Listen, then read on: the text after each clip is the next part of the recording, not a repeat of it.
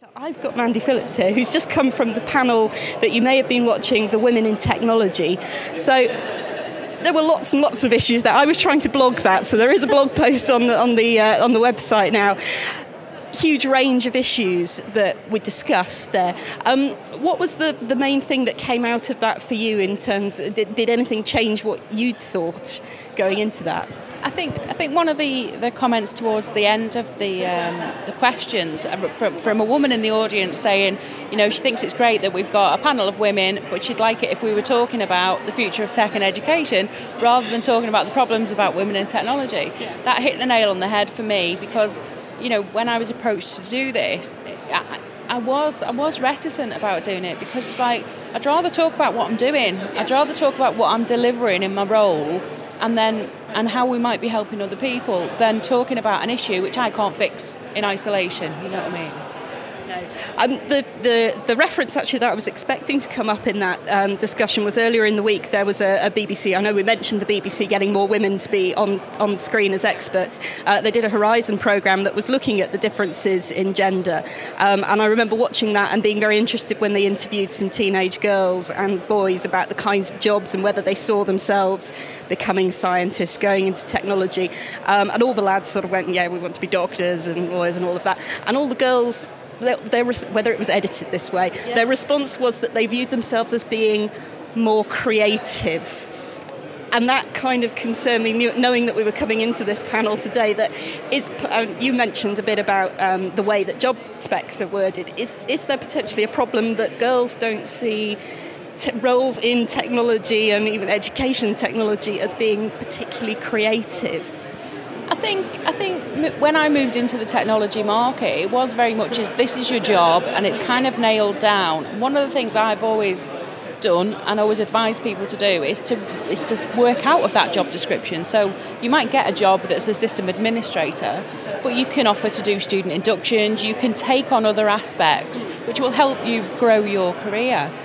I think there's room for creativity in everything. Just because a job spec doesn't ask for it particularly doesn't mean you can't apply. I, I think on my LinkedIn I've put creative change leader or something because I don't, you know, it's for me, it's the technology is something in the background. It's about solving problems and it's about appropriate use of technology, and that helps us. It's an enabler to help us do stuff. So I think, I think we do need to think about the skill sets that we look for and how we approach the whole recruitment process so that, you know, because it's not one HR policy fits all, I'm afraid. So that, that sounds like almost part of the problem is not so much getting the girls to take the technology A levels, it's more about how they approach applying for jobs and the careers advice. That's a probably a whole other kettle of fish. Um, was there anything that you would have liked to have seen come out of that debate that you didn't hear raised that you were perhaps expecting to be raised when you were, were planning what to bring up? Um, no, I think I think most of the comments were expected, and and uh, you know I've had in conversation with friends around this this topic. I think there's a genuine interest from men in the sector to want to do something they're just not sure what they can do. And it, and it is you don't I don't want anybody to give me a job because I'm a woman. I want them to give me a job because I'm bloody good at what I do. So I don't want a positive discrimination. Um, but I think it is for me, uh, uh, with young girls particularly, it's a confidence building thing.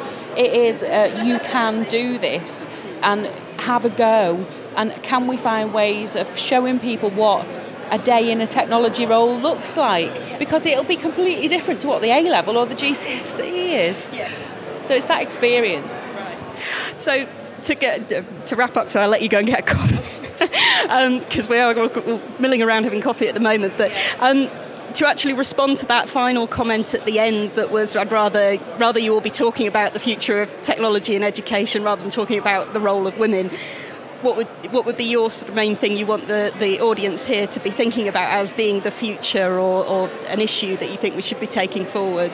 Well, I think um, in my 12 years experience in HE, a lot of technology has been owned by the IT service and the, the boxes and the servers and the hardware, and uh, more so by the teaching and learning development unit and, and the educational aspect of it. But actually, it's much broader than that. My role now is working with HR and finance and the student system, and it's about the, it's it's not just the technology, it's the information, and actually you don't have to want to go into a role in one of those departments. You can choose to work in careers with a technology bias because it's everywhere. Fantastic. Right, before I let you go, let's just have a very quick check whether there's anybody who has tweeted tweeted a question. You get off lightly this time. It's a bit early in the morning, but so thank you very much for, for joining us for that. I will let you go and go and grab a coffee. So that's fantastic, wonderful. Thank you. And I'm very glad to see in the background there.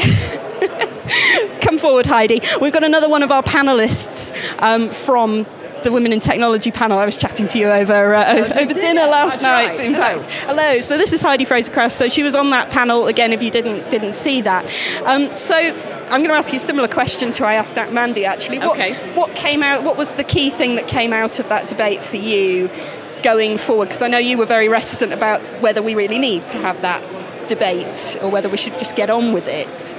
Okay, so I think that there, when I look at what I do at work, I think I need to think harder about the role of women. Right. I think I need to look at my recruitment practices, um, how people are rewarded. I don't think I discriminate now, but I think there are things that I can do to change my behaviour, and I also think there's stuff that I can do higher up in the institution.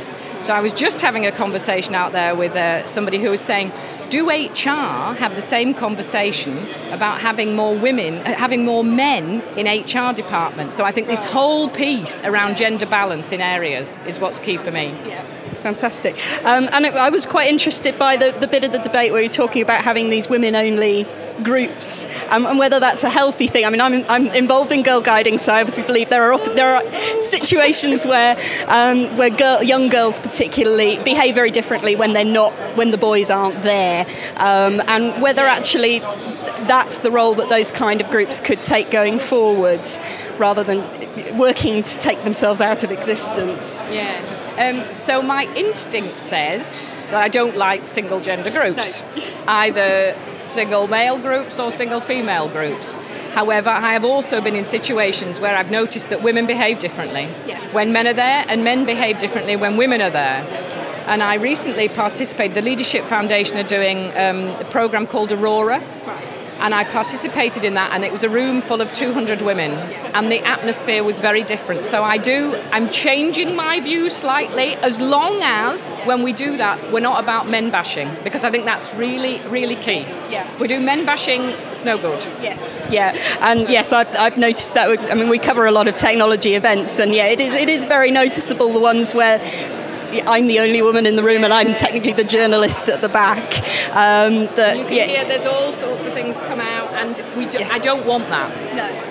So that's maybe my view on it. Right. Okay. And and just so, before I let you go and grab a grab a cup of tea or coffee, because I know you've got to shoot off as well. Um, the point that was made at the end there about actually people wanting to see women in technology just getting on with it. Um, so coming away from the debate about women in technology, what's the future of technology and education? What are the things you think we should be working towards or discussing at this event? Well, I'm not convinced we understand yet why women aren't keen on careers in technology. I think so. I think that what we should be trying to do is understanding why it is women don't find the profession attractive. And once you've understood that, you can go some way to addressing it. But at the moment, I think there's a whole set of theories around that, and we don't know. So focus on that first. Fantastic. Thank you very much for joining. I will let you go and go and grab a coffee, so thank you very much for that. So we got Samantha Swift here, who was our keynote this morning. So wonderful. Right, so this is our Google Hangout. We're basically just chatting through some of the things that came out of this morning's session. Um, so what was particularly interesting for you? I know that we over dinner last night we were talking about the being an issue about the, having the debate at all and what kinds of things people would bring up. came through. I think it was kind of a mix in that we know there's a problem. I think some people are also a bit, to some extent, sick of just pointing at a problem. It's it's it's doing something, but in a way that doesn't positively discriminate. Because I don't think anybody wants that either. That's that it compounds the issue again. You know, and if well, I was saying to somebody earlier, it would make us look like idiots. Really, if you're the token woman, uh, there's nothing worse. So, you know, right people for the right jobs, but inspiring girls and guys into technology because we're, we're going to have a skills gap soon. I mean, in my industry, Um, there was some research done recently where they said, you know, there's thousands of people that we're going to need in the cybersecurity space to be able to, you know, to put up the good fight. We need to inspire young people. So, what do you think? I mean, I know you, you recommended the book that Yes. we should be reading, and we, we were frantically finding the link to be Very able to cool. tweet that, so we, we have tweeted that. Um, I don't know whether it's the things that are in that or whether there are other things that you think we can be doing, because you had a very limited amount of time earlier to say what you think the audience here could be doing to inspire those those young girls. So, what other things do you think we could? I mean, I'm not suggesting everybody goes out and buys a computer for the next girl they see. this five-year-old girl goes past. I think, and to be honest, kids are using tech so much more now. Um, so I mean, that's a good thing. I think that will help naturally inspire them.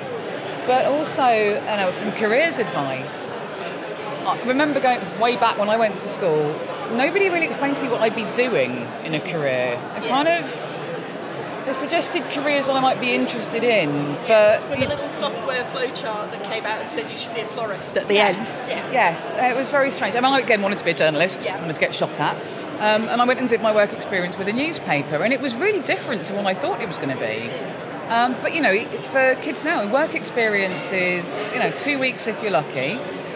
Um, you may or may not get a real experience of what it's like to work there, or you may just have to make the tea and do some filing. Um, but we have kids coming quite a lot. Um, and I find people often bring in their own kids, just even to spend a day, and we kind of whistle stop them round the different jobs and we talk about what we do, what our days are like. And I think that, that kind of thing can be more of an eye opener than almost you know seeing a job description with a wish list on it. So yeah, more real experience. Yes, I think I was talking to I think it was Miles last night after you after you'd gone that say actually part of the problem is for these young people that the jobs in technology that we need them to apply for potentially don't exist yet. And how you my job didn't exist when I was at school. Yeah. we had to create a title for what I do because you know, nobody was doing it when we started. Um, so I don't know whether there are things that sort of more generally that preparing for those unknown jobs It's a skill set thing as well. It's not just us, you know, study this and then you will go and do this job. And I don't have a degree. To anyone. Um, and it's okay. I've done all right, as it turns out. Um, I'm not saying don't bother getting a degree. I know a lot of people who've got them and have done really well as well. You know, it's it's what it's what works for you. But there are other things outside of the curriculum that you can do. You know, things like you know debate societies. That's always a good one for building confidence. For communication skills are huge. You know, and especially social media. You know, it's not just a case of standing up and talking. Um, you know, being witty behind a screen. Yes. Really, really important. You know, and I think you know kids are getting a lot of experience of social media. yes. Um, you know, they're, they're using it a lot, but being able to translate that into something you can do as a job um, it's, there's there's some things you can do there, but maybe not always. You know, people hide behind a screen sometimes, and there's the negative side to the internet. Yes. But if you can take something that you love doing in your life and then make that your career, that's huge. You know, and then that's what, it, yeah, that's what it's all about, effectively, is it? Yes, yeah, absolutely. So, and then it's looking for opportunities. That's the other part. Is that you, know, you said your role didn't exist. That sort of entrepreneur, entrepreneurial nature um, of you know where could I take this? We're on a tipping point, I think, at the moment. There's so much out there that we can go and do, and there's new tech coming out at this rapid speed. You know, where can you take that? And actually, the job market being what it is at the moment, more people looking for what they can do themselves and not necessarily looking for a, a nine to five job Yeah. working for somebody the nine to else where, yeah, they've not got the job security that they might have might have had. So yeah, there there are more people looking to do that kind of thing now. Um, just stepping stepping back from that, one of the, the key points that came out of that debate was actually the, the, the fatigue of people saying, actually, why are we still having this debate? Why aren't we just doing it and it will follow the more more women that are out there doing stuff.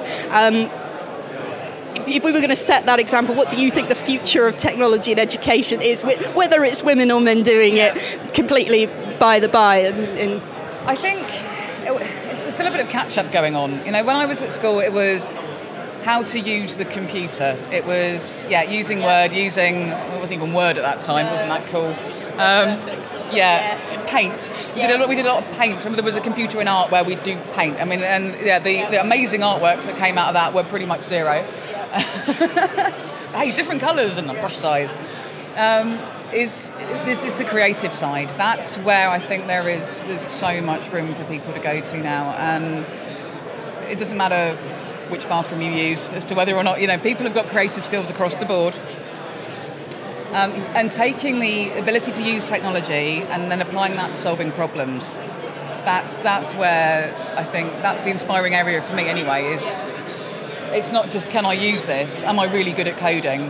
Um, can I take what I know and can I go and learn something to help me solve problems?